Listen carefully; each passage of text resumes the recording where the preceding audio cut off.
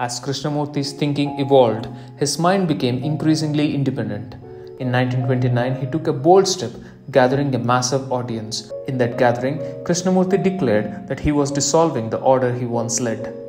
Truth being limitless, unconditioned, unapproachable by any path whatsoever, cannot be organized. From that day forward, his mission shifted towards educating millions around the world about the true nature of reality.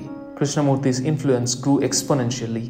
He became a guiding light for prominent figures like Alan Watts, Osho, Deepak Chopra, and even Hollywood legend Bruce Lee. Krishnamurti vehemently rejected the authority of gurus, religions, psychologists, philosophers, and politicians. Krishnamurti's teachings were rooted in the path of Jnana Yoga, the practice of personal inquiry into the nature of reality. He inspired millions to question, explore, and seek their own truth.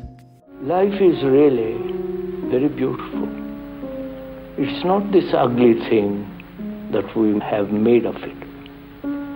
And you can appreciate its richness, its depth, its extraordinary loveliness only when you revolt against everything, against organized religion, against tradition, against the present rotten society, so that you as a human being find out for yourself what is true. Not to imitate, but to discover.